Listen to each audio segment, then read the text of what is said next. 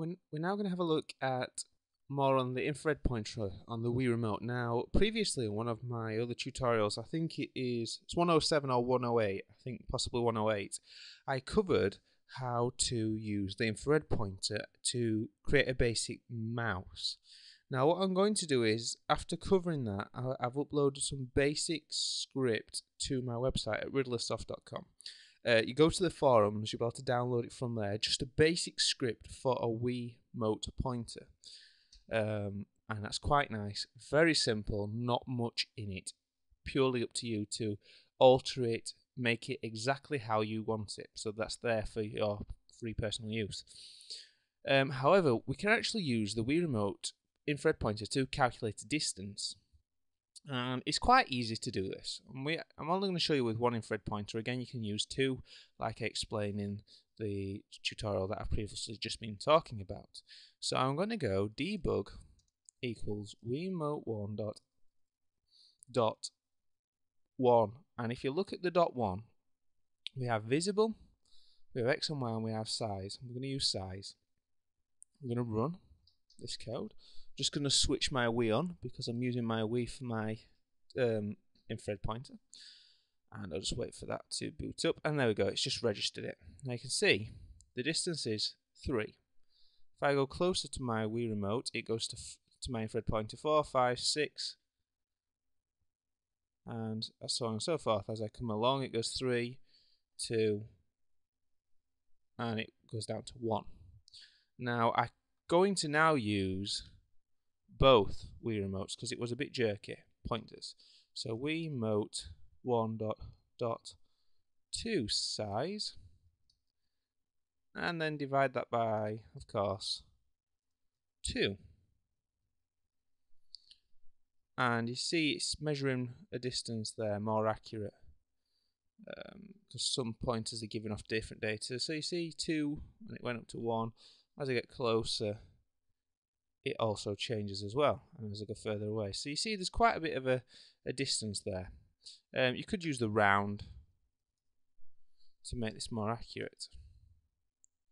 And of course you want to make sure that there's no other infrared devices that are interfering with it because like we know that the sun gives off infrared and therefore interferes. So you see we have two, I go close to three, four, five, four, and then it'll go up to five and six as we've already actually covered. And it's just some, oops, it's just a nice bit of script in there that we can use. Sorry, Glove Pie is just trying to catch up with me. Um, that you can actually use and to calculate your distance. So I suppose you, if you were a good programmer, you could actually have a program with many windows and you wanted to go through the windows, you could tab through them as you were using um, the distance function. Or if you wanted to control the volume, you could set the volume to whatever the distance was from the Wii remote. Now, really, that's the only other thing I can really think of to cover on the infrared fun uh, functionality of the Wii remote. If there's anything that you feel I've not really covered or you want me to cover in more detail, if you just post on either the make a comment on the tutorial or post on the forums at my site you're more than welcome to, and I'll try and incorporate those ideas into another tutorial. As I say, there's already one on the pointer. Um, just a brief thing to make uh, to note that the Wii Remote actually has the capacity to note four infrared devices. Um, I, I, think I covered it in the other one, but I'll just show you this as well.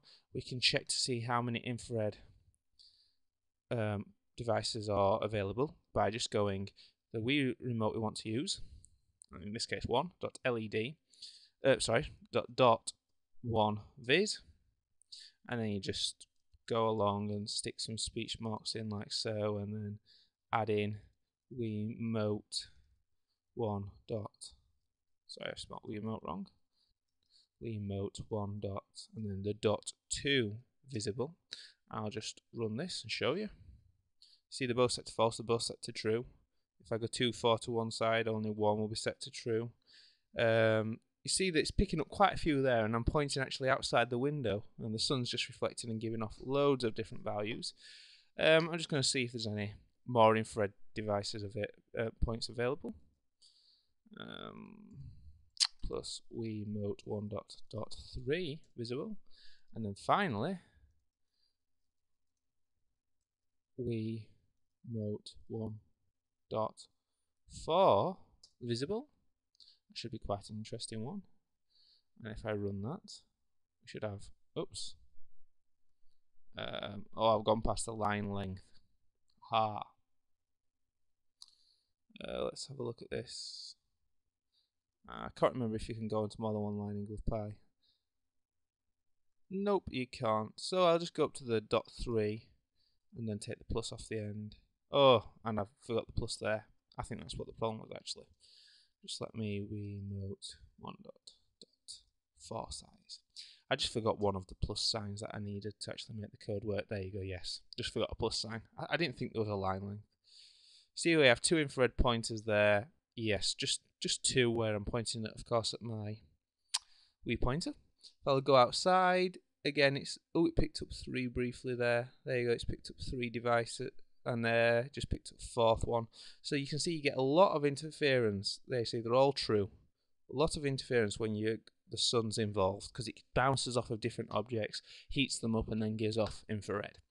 So that's all I'm going to cover in the infrared. As I say, if you want any help on more subjects, post, and I'll try and incorporate those.